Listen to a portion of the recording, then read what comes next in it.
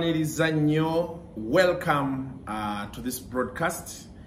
Uh, in kampala time gyegikoleddeko it's coming to uh, 10 am so it can be either good morning depending where you'll watch it from or what time you'll watch it. Good evening good afternoon. Um, kasuku kuku wazabanga is my name. I have this segment i come with every single day like i told you it's called the good, the bad, the ugly. We basically look at what is in the papers, what is making the news. Um, today there is uh, today I have um, Onowino. Onowino uh, is a new publication kapapula kapyano mu Uganda. It uh, it's a Uganda publication. Uh, you can see its front page and what it has led with. Uh, everything here is negative. Eh? um, oh, most of the things they are negative. Uh, then I have Daily Monitor. Daily Monitor has um, some positive news. Um, police to recruit 50,000 election constables. Government spending decreases on COVID. That is good news. And um, I think that's basically it. They also have tenders, deals at uh, UNCC. Uh, there's, there's so much talk about there. Um, but um, today, Daily Monitor leads with the question, where is the 22 billion promised to the teachers? Uh, rumor had been doing rounds that this money was eaten by someone. And today, the question is, where is the 22 billion promised to the teachers by the president? They say Museveni directed finance to pay. The teachers are frustrated by the bureaucracy. The money seems to be hanging somewhere. It is not getting to them very fast. And uh, they say the money was meant to cushion teachers and finance is still looking for a formula. We don't know what formula they are looking at, but that is barely, uh, that, that is about the money. Then also, floods pour more rain to Ntoroko school. This is a school Ntoroko district, and floods literally washed it away, or almost washed it away. So um, it, it's not good vibe this morning uh, down in Kampala here when you look at the dailies. Um, there is um, there is a struggle. Mukazi wa pastor igalese bwino kuba musinga obulwadde abamusinga obulwadde okumutta. Pastor iga is sick. Uh, these stories we are going to be getting back uh, mu maaso awo. Tujja kuba tuzikomerawo uh, tuzinyumyenyumyemukko tulabe kigenda mu maaso.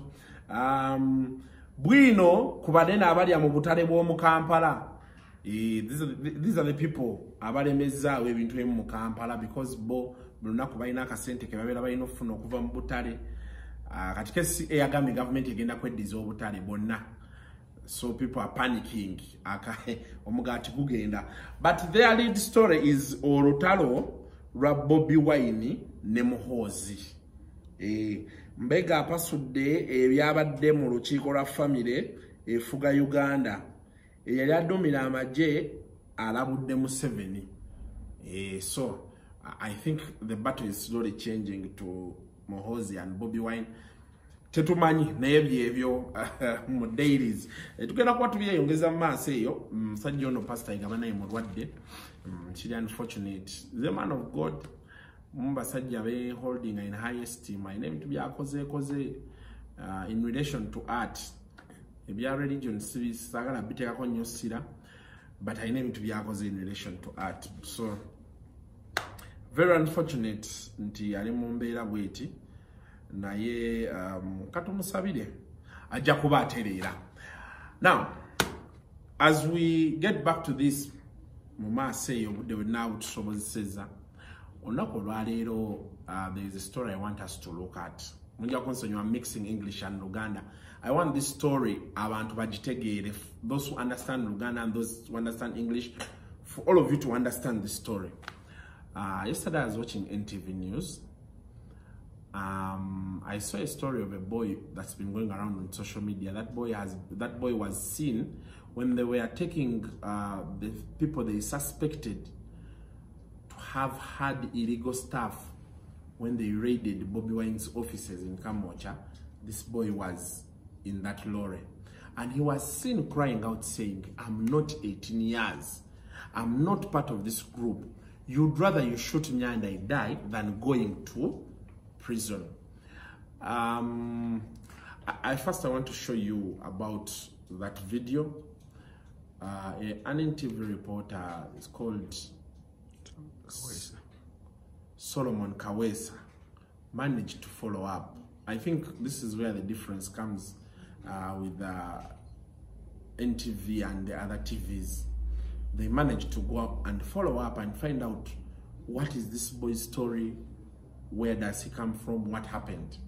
And I managed to get this clip from NTV, and this is the story of this boy I want us to look at.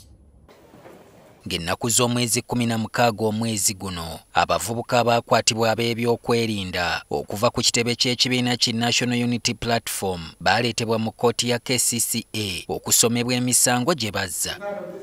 Bano baaleetebwanga mu mpalo okutuusa lwe baggwayo mu kaseera k'okutwalibwa ku limanda ng'omulamuzi bwe yali alagidde mu baali bawala mpaloole ya poliisi erindiridde mwe mwali omuvubuka ono kyokka nga yali nnyo alaga nti alina obutali bumativu yategeeza nga n'amaziga bwe gamuyunguka nti abakulu ku biwandiiko ebimuweereza ku limanda bamuteereddeko emyaka 18 kyokka nga tagiweza Mama kumba n'emyaka kumi na munana kati zempeza kumi na munana munkumemu esasimpere gamba wankumemu esasimpere tebantwale aa bankumemu esasimpere tebantwalira bakazibemeze akatambi kano buli lw'oggula omutimbagano kumpi k'otuukirako ssaako n'ebigambo ebikaawu abakalabyeko bye boogeredde ekitongole kya poliisi. Twagadde okwongera okummuka ensonga eno era ne tusalawo tunoonyereze ku bikwatagana ku muvubuka ono na musango kiddala gwe yazza enkessi zaffe zitulagiridde omugotteko oba gete eno emanyiddwa nga kyamuka esangibwa e kamwokya mu kampala. Ekifo kino kimanyiddwa nnyo ng'ejjaluliro ly'abavubuka abamenyi b'amateeka era nga mu kutigomya kamwokya n'ebitundu ebimuliraanye baafuuka mmo. Kizudde nti omuntu gwe nnoonya mu kitundu kino amanyiddwa nga bin wabula ng'amannya g'amatuufu ye rahiman joro era nga waliwo abankakasizza nti bamumanyi. Bini mukwano gwange mbadde nga naye ne waliwo ebintu bye bamuteekako byempulira byendaba n'okulaba. Kuba tuyitangako ku facebook nga netubeerako nga tulaba. Ndagiriddwa mu kafo akamu we nnyinza okusinkana jjajjaawe saara nakayima. Era ono yasobodde okunnombojjera nti ekyaviirako muzzukulu we okukwatibwa yali muntu omu eyanyagibwako essimu n'ensimbi mu gete eno era n'afumitibwa n'ekiso nga bino byaliwo mu mwezi ogw'omusanvu eyalumbibwa yasalawo bana abawendulire poliisi. Abasirikale ne bajja ne bakola ekikwekweto. Ne bayoola nga bamanyi bayooledde mwani eyamukozeeko ekibi tebamusangamu ne babasiba. Bwe babasiba ne muzukulu wange mwe yagendera bamusanga anywa kyayi omutuuze omulala ddirisa bya ruhanga atubuulidde nti abavubuka abaayoolebwa baatwalibwa ku poliisi y'ekyebando kyokka mu kiro ng'abasirikale bakendedde. Abakwate bano ne bamenya ekkomera ne batoloka. Abamu ne bayita musiringe ne badduka. Kati bwe bamala okudduka oyo omwana oyo ye yasigalayo gwe bayita biini bwe yasigala bwe yasigala ku poliisi ye bagenda kugula nga mwala era ye teyayitawo ku kitulo kudduka. Kuba ndowooza yali amanyi nti tali kuki tali ku fayiro eyo ye teyazza musango. Abasirikale ono baamwongerayo ku poliisi ya kira road era ng'eno jjajjaawe gye yamuwondera amweyimirira ayimbulwe wabula eyazzibwako omusango n'amutegeeza nga bw'alina okusooka okumulabamu. N'agamba nsaba mitwalo kkumi ngende zinzijanjabe netumugamba ee netumwako emitwalo esatu. Nga tuli sapoziti okuddayo ku gw'omunaana okulipootinga. Ono bwe yaddayo yasanga nnyini musango yeekyusirizza mu kiti nga mbazzi era namukadde ne bamukwata ne bamukuba mu kaduukulu abeereyo okutuusa nga muzzukulu we alabiseeko jolo bwe yatuuka ku poliisi yasibibwa okumala ennaku ssatu nga talabanga ku mulamuzi. Kyokka mbu ne bwe baamala okumusomera omusango baamutuusiza mu kkomera ly'abakulu ekitalya. Mu mateeka ono yandibadde atwalibwa naggulu mu kkomera ly'abaana poliisi bino ebisambaze ng'erumiriza nti ono basigala bamukuumira ku poliisi y'ekira nga bwe balindako okumwekebejja ssenyiga omukambwe alyoke agattibwe ku banne naggulu omwogezi wa poliisi mu kampala n'emiriraano patrick onyango agamba nti waliwo ensonga endala ezibadde zikyakoneza jjolo mu kaduukulu k'ekira road.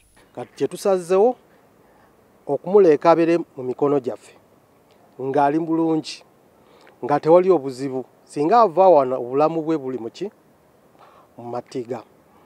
Ayinza okufa abayinza okumutta ng'ennaku z'omwezi kkumi na nnya poliisi bwe yakola ekikwekweto ku kitebe kya nup abantu abaggibwawo omuvubuka ono baamusangayo mu kaduukulu.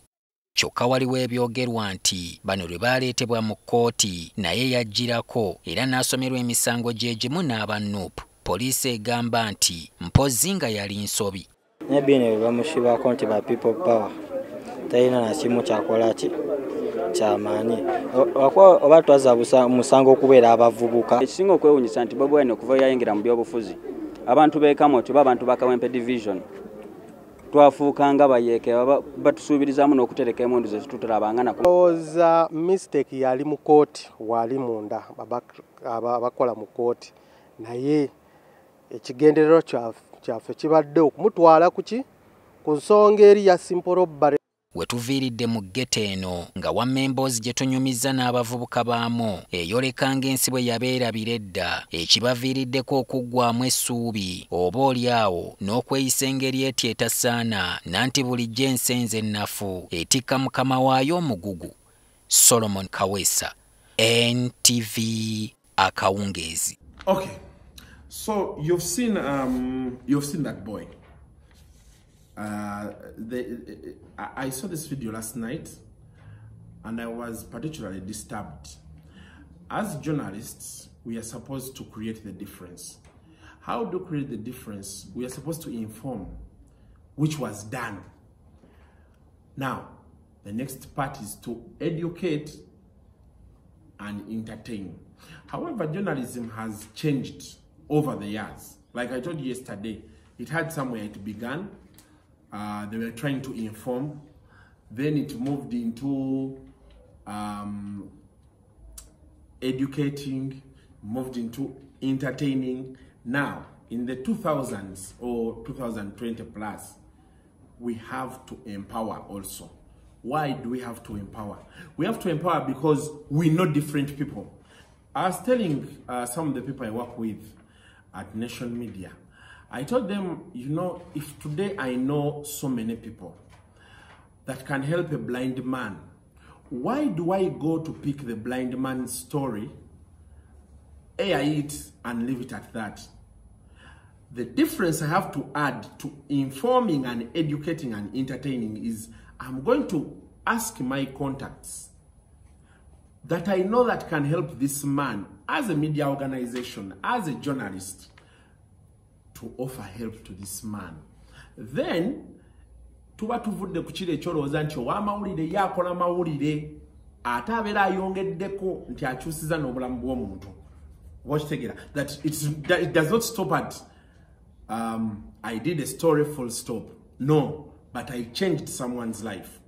So to all journalists out there we are saying when you cover a story now like this one we are trying to find how do we help this young boy when you when you look at that story police says it was a mistake. The questions we have to ask today how did this mistake happen? So the judge of this boy says they arrested him took him. The complainant wanted a hundred thousand they paid 30 emitwalo esatu can you imagine the level of poverty emitwalo esatu ku mitwalo kumi mukazi watto nga when, when the kid failed to come back they arrested the grandmother. And the grandmother is the breadwinner.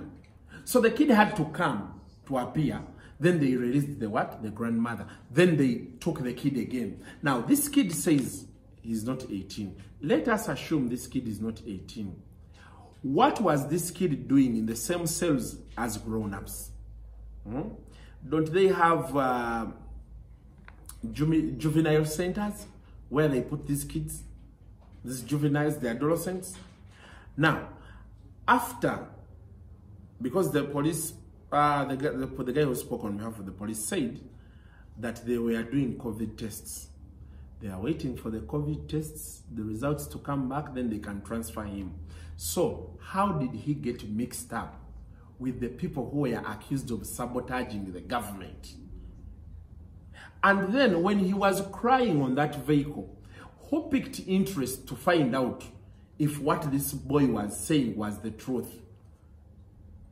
Um, for some time, tuwulidde ebintu ne bakugamba nti omusajja yagenda eruzira talina fayiro ne weebuuza omusajja atalina fayiro yatuuka atya eruzira how did someone without a case file end up in prison?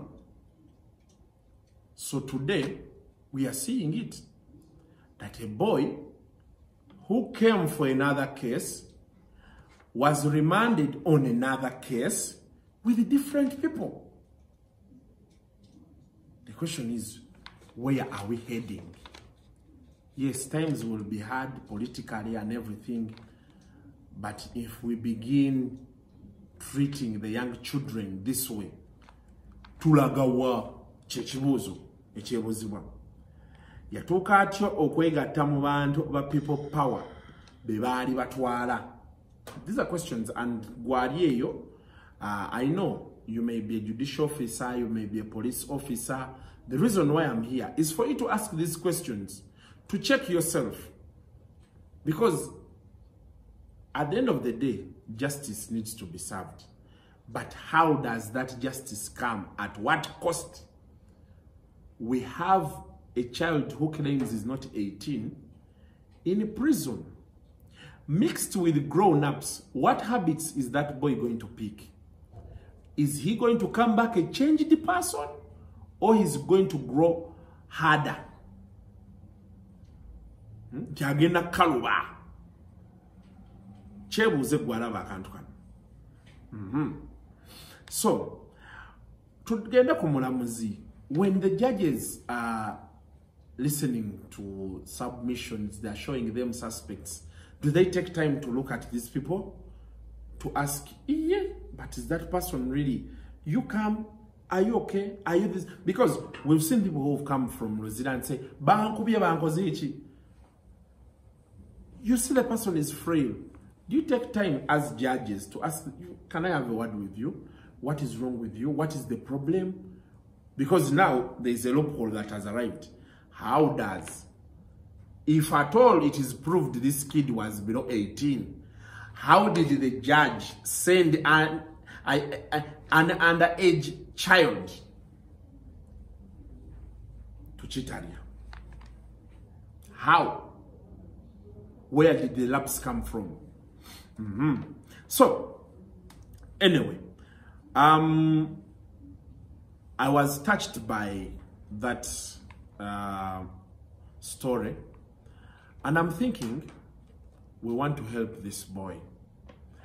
Um, on my TV show, we had started a campaign where we are going to in, individually twali tugenda kwejjamu ssente tulabe tusobola okubeera nga tuyamba omwana ono naye fulfiga avuddeyo naga nti aa ekyo mukireke ngenda kuba kikwasaganya tulabe. Naye tusaba abantu bano wammanga abantu abali eyo ngaolina omuntu gw'omanyi looya abamateeka tusobola okwogera naye netunoonya jjajja w'omwana kuba kati kyetwagala okuddako okugendako tunoonye jjajja w'omwana oyo asobole otuwa obujulizi obulaga nti omwana we oyo ali biro 18 tusobole okugenda mu kooti tufune kyebayita production order. Bwetufuna production order kitegeeza nitubeera kati awo tugenda mu kkomera netumugjayo netumuleeta mu kooti kati mu kooti balooya awo you can advise me omusango egyo okulaba either bamuwa bailu oba bamugja ku musango guli ne bamuzza ku mulala ne bamuwa bailu oba kale ne bam- ne bamugja ekitalya n'agenda mu juvenile home eh, enaggulu ekampiringisa awajja emyaka gye. Kati ate awo nga bwetugezaako okuzuula amazima kuba wali tubadde tutunula nnyo okugamba nti oba teyakikola. Mm, tetwagala kubeera kooti esalawo nti yakikola oba teyakikola. Thats ekyo katukirayo for another day. But banaaba awangudde omusango oba ki? Kale tunaavayo ntulabe tumuyamba from there. But from now twagala okulaba. Tusobola tutya omwana ono okumugjayo ate eri gyali tusobola tutya oteeka akazito ku gavumenti. Ebintu nga bino nebitaddamu kubaako. Okuviira ddala ku judiciary ne police ne prisons. Because bw'owulira story nti waliwo omuntu gwe baasibye nga ali luzira talina fayiro otuuka nogaa kati ayingidde eruzi agenda vaayo atya? Newowe oyagala omuyamba avaayo ku ki? Kiki ekyamuleesa olaba omuntu babeera obulamu bwe bonna bonna mu kkomera tulina bano zino ngos ne legal legal groups zitera okugenda okukyalira abantu mu makomera. I don't know you people namwe muli mukulya kasente i don't know i need to have bwobanga olaba vidiyo eno ngaomanyi ku bantu abo njagala kwogeramu nabo bino ebintu byetukola nti tetujja kulinda buli kiseera gavumenti kubanga benagamba nti buli bwe tunaavayo buseera nga tukayana gavumenti gavumenti. Eyinza okuba naye erina ebyokukola bingi oba eyinza okuba tefaayo oba eyinza okuba nga erina kyekoze naye nga naye egamba nti nkikoze naye nga ffe tulaba kitambula mpola. Ffe tutandise tutya? Ffe tutandise tutya ffe abali eyo? Um, abantu nga uh, honorable minister nakiwala i need your voice on this va mu bino bino byobeeramu olisima banfunisiza olubuto nodduka. Ne badduka bazeewo nojja noyimira mu kamera za live wire oba anikat aye kati okofimbyako fino? Kati kiri honorable minister. Kati bino byetukwetagiramu tetwagalaga nti omwana omusango teyaguzza. Naye twagala ayisibwe ngaomwana etteeka nga bwerigamba tewali kimutwala kitalya mu kkomera eri tumuteeke mu remand homes zino ez'abaana eh? enaggulu kati kisaawa eno kyenjagala ebisigadde tujja biraba nga aze mu kooti obanga awangudde obanga ki ebisigadde tujja birabiraawo aha tulina police family protection unit. You need to come out. I know ebintu kati nebisinga mu uganda abantu because tetubifaako nnyo bibeerawo nga ebitongole nga webiri naye nga byebase. Family protection unit how did it get to this? That is if the kid is below 18 as he says. How did how did we get here? Because oli agenda kuŋŋamba nti oba, oba yakula ne balowooza nti muntu mukulu e, e, e, e, kiri very dangerous. Kiri very dangerous. Olwokuba omuntu munene muwanvu kitegeeza nti abeera muntu mukulu? Katuyina national council for children.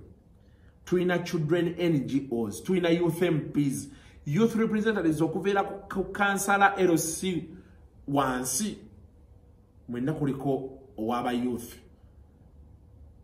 Tukoze eki naye ng'ate bino byonna byonna gyebiggwera okusaba okwange. Saagala kibeere nti kikoma wano on this one particular case because that is the challenge we as ugandans have. Nadde njogera wano ku omusango gwa hama abantu ne banga kasikuwalidde ne mbaga nti oke katukitwale nti nalidde. Kiki kye nayogedde ekikyamu? Kubanze saagambyeko nti oba hamu mutuufu yawa no. Nagaye nti consumer protection. Nze ng'olwo nnumirirwa abannayuganda bangi abali eyo be batoolako olukumi lukumi buli lunaku enkumi ssatu ssatu ku akawunti ye nga tagikozeseza nagikozesa ne bazitemako. Newabaawo omuntu at the end of the year afuna miliyoni asatu. Nga naye yagenda zikuŋŋaanya ku ffe ogenda okutolako enkumi ssatu lukumi nkumi bbiri bwotyo. Kyenjagala okugjako era leero. Tuleme kukoma wano. It is time and we are not and don't wait for the government. Don't wait for the government before we wait for the government to do something let us do something let us go and demand kati nga family protection unit of police yitayo babuuze emirimu mugikola mutya as a citizen you are entitled to that hmm? ngos z'abaana national council for children there are so many things happening to children. This is just one. Because at the end of the day, it's going to come back to you. If one day you die, and the people you leave behind can't afford a hundred thousand like that old woman, and they arrest and take in your child, and they treat that child the same way they've treated this child, and you kept quiet, will you be happy where you'll be? Or death is a tall order in this situation. Imagine you lose that job you have. You get disabled. You can't afford the basic necessities of life. And your child is treated the same way this one is treated. Will you be happy? Think about it. Until next time, the good, the bad, and the ugly.